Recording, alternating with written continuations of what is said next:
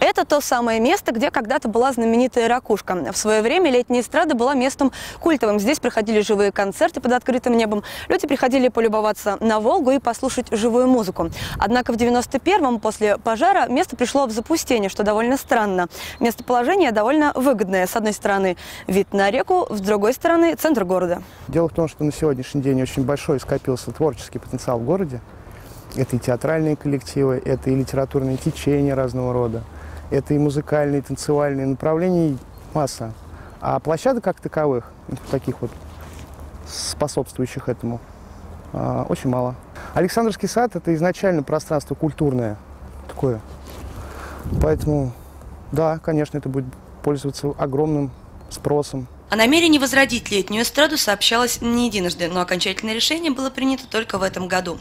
Курировать проект взялся глава города Олег Сорокин, взял, так сказать, пиар-инициативу в свои руки. И не успели нижегородцы обрадоваться перспективе в скором будущем увидеть новую старую ракушку, как выяснилось, строительство стартует только в 2015-м. По словам главы города, оно должно начаться после общественных обсуждений. Возникает вопрос, неужели обсуждения будут длиться больше года? Почему не начать это делать сейчас?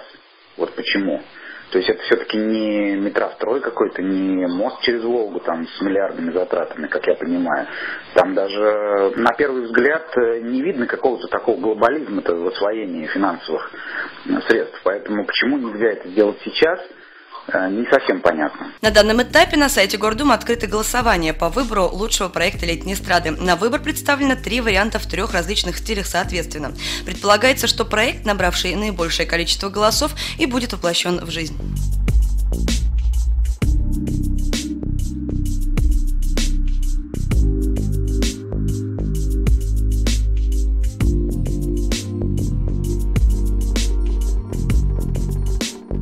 Надо думать, что по стечению обстоятельств строительство летней эстрады должно завершиться аккурат за пару месяцев до выборов в Гордуму. По тому же стечению обстоятельств именно Олег Сорокин является депутатом по этому округу номер 22. Как бы там ни было, возрождение ракушки – событие, безусловно, замечательное, даже если оно кому-то на руку. Александр Янова, Георгий Захаров, Горький ТВ.